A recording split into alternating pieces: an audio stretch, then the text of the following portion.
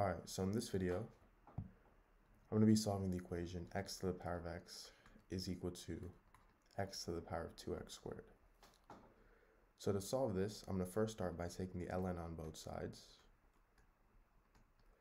And if I have something in the form ln a to the power of b, this is equal to b times ln a. So this turns into x times ln x is equal to 2x squared times ln x.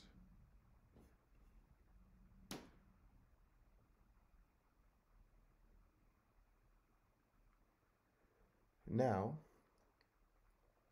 I'm going to subtract 2x squared times ln x on both sides. So I get x times ln x minus 2x squared times ln x is equal to 0. And now if I factor out ln x, I get ln x times x minus 2x squared is equal to 0. So this gives me two equations. I have ln x equals 0 and x minus 2x squared equals 0. For ln x equals 0, I'm going to take e to the power of both sides. So these two cancel out, and I get x is equal to e to the power of 0, which is 1. For x minus 2x squared equals 0, I'm going to factor out x, so I get x times 1 minus 2x is equal to 0. So this means that x equals 0, and 1 minus 2x equals 0, meaning 1 is equal to 2x, and x is equal to 1 half. So these are my three solutions to this equation. Now, if you haven't already, please make sure to subscribe, leave a like, and also check out more videos on my channel. I have several challenging videos with lots of equations that you guys can try to solve, so make sure to check those out. And also share this, see if your friends can solve this. Thank you, bye. Alright, so in this video, I'm to solve the equation 9 to the power of x is equal to 36. So, to solve this equation, I'm going to first start by taking the log on both sides. So I get log of 9 to the power of x is equal to log of 36. Now, if I have something in the form log a to the power of b, I can move this exponent b to the front, so this turns into b times log a. In this case, I have log 9 to the power of x, and I can move x to the front. So I get x times log 9 is equal to log 36. And from here, I can divide both sides by log 9. So these two cancel out, and I get x is equal to log 36 over log 9.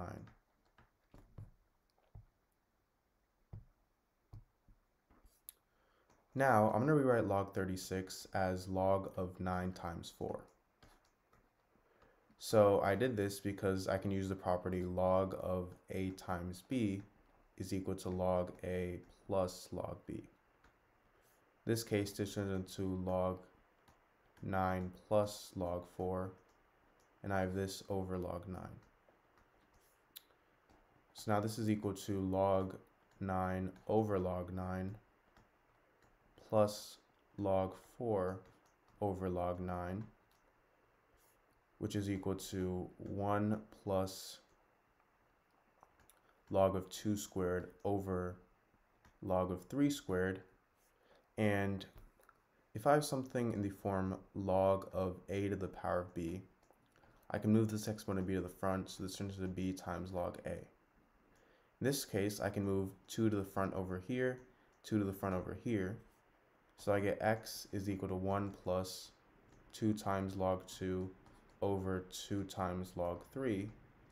From here I can cancel out these two 2's. So I get x equals 1 plus log 2 over log 3.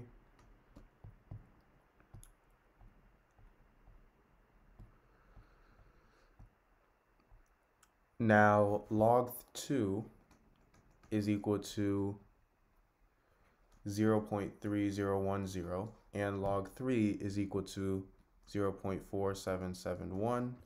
So if I divide these two, I get x equals 1 plus 0.6309, meaning x is equal to 1.6309. So this is my answer.